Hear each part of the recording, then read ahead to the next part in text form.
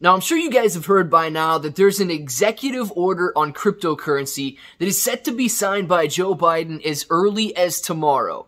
Now, this could have a huge impact on the cryptocurrency market. It doesn't matter if you hold Shiba Inu coin, it doesn't matter if you hold Bitcoin, Ethereum, whatever. If you're holding crypto, this, this executive order by Joe Biden on the cryptocurrency could have a very large impact, both positively and negatively, depending how far it reaches. Now, I know a lot of people out there, if you're like myself, you're thinking, my gosh, uh, the government's already elbow deep into my pocket. How much deeper can they go? well, I'm going to tell you, they might as well jump into your pocket like a little Blues Clues episode because they're going to go as deep as possible. In this executive order, we need to talk about it because it could be good, but could also, I mean, it could also be pretty bad depending on how much they want to regulate and how much they want to restrict the crypto market. So in this video, let's talk about the pros and cons. Let's talk about what it could mean for your cryptocurrency holdings. And uh, if it sounds like something you're interested in, let's get started.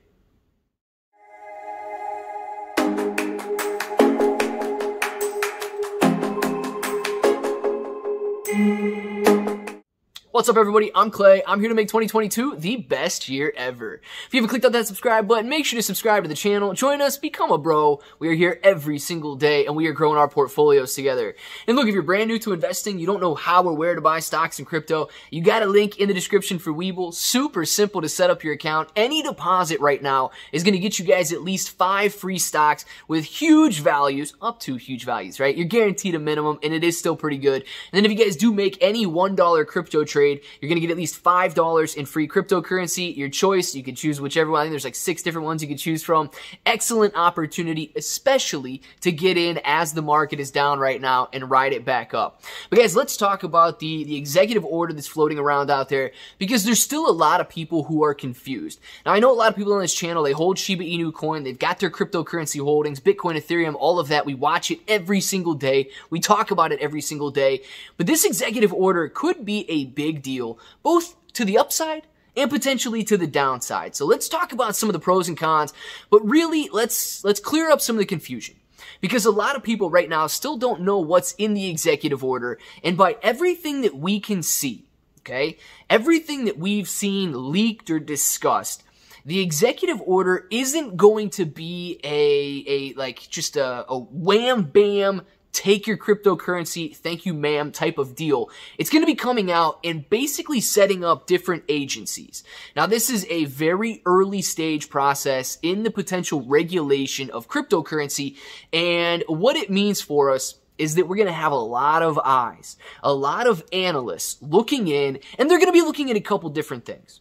Now, the reason it's getting so much attention right now are because of the speculation and because of the ideas that, that Russia can kind of sidestep the sanctions that the US is putting out there by using cryptocurrency. And although that is a possibility, uh, don't listen to people that tell you cryptocurrency is only for illicit activity cryptocurrency is only for illegal dealings because man, you know, you can launder money all day if you put it on the internet and then it's clean. It's not that easy. There's a there's literally a record of every transaction that takes place.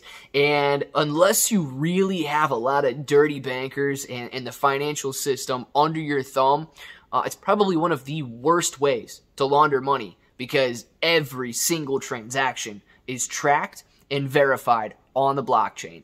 So it's not as scary as it as a lot of people make it seem, and they might be pushing that narrative so that they can get their thumb on it, so that they can get their hand in it, and they can control it the way that they want to control it.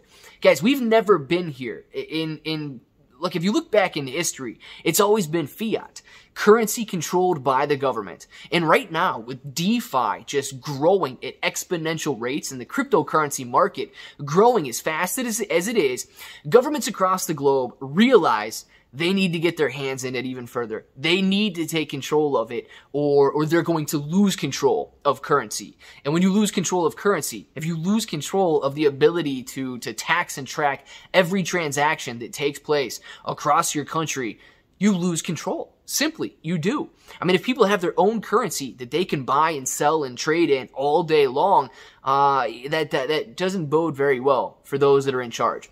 So that's a lot of the main reasoning behind this executive order. But like I say, I wouldn't really worry too much because if you dive into it, they're basically lo- looking at setting up different agencies to make recommendations on the next step. They're going to be setting up different agencies on whether or not cryptocurrency can be used to uh, to to get through these sanctions and so on. They're going to be looking at different cryptocurrencies and wondering wondering whether or not we need some regulatory body like the SEC to determine which cryptocurrencies can be created and which cryptocurrencies cannot be created.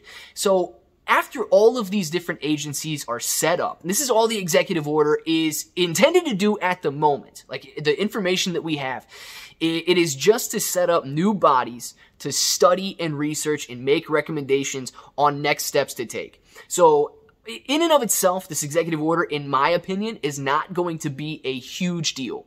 It's the recommendations that the agencies created from this executive order uh, end up putting forward that could end up being the big deal.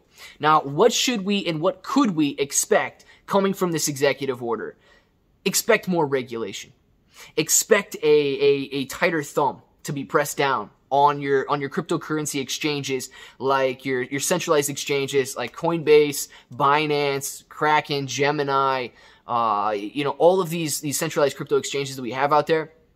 Expect them to be more highly regulated and more highly controlled. Now, if you guys aren't familiar with, with centralized exchanges, they already have KYCs out there. You need to know your customer. They need to know where these funds are coming from and where they're going to, and they do that at this point. The real crypto world takes place on a decentralized finance platform. That's where nobody but everybody has control. And if no one person has control, think about that. If nobody has control, it, it brings up uncertain things and, and a fear or a danger because everybody loves to be in control. And when you give up that control, you're, you're letting the unknown happen. And that scares governments. So that's what we're going to be facing right now. And let's just look at a worst case and best case scenario really quick before we end the video. Best case scenario, we get some government regulation to come in. They don't mess with, with everybody that's wanting to, you know, buy and sell and trade crypto. They tax it the same as they're always been, they've always been taxing it. They clean up the space from all the scammers that are out there. And there's some sort of a review process that not validates every single coin and, and make sure it's not a scam because you still got scams that are going to break through, but drastically reduces the amount of scam coins that are able to be listed. Best case scenario.